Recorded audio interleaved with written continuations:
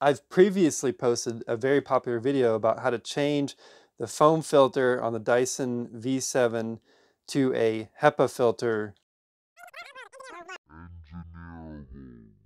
that's easily replaceable if your Dyson V7 did not come with the HEPA filter in the first place. This is an update on that video because in that video I show how to remove this foam filter using like a credit card or something to get into this gap.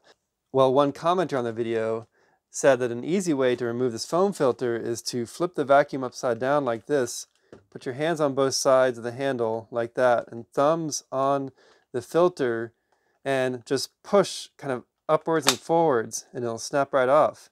So I gave it a try and it actually works really well.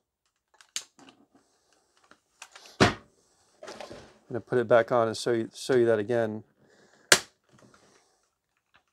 So this is a very easy way to remove this filter, much easier than the previous method that I used.